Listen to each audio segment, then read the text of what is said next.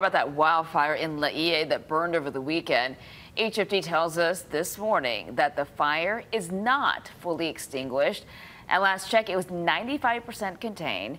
Crews were not needed to stay on scene overnight. They were first called to that scene, though, near O'Hailey Street on Friday morning.